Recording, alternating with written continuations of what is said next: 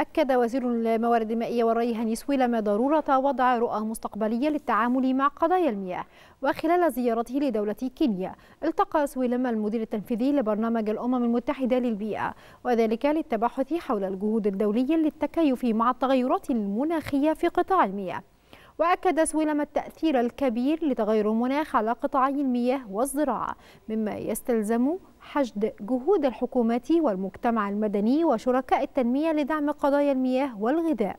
ولفت إلى سعي مصر لإيصال صوت إفريقيا للعالم باعتبارها القارة الأقل مسؤولية عن انبعاثات ثاني أكسيد الكربون والأكثر تضررا من تغير المناخ.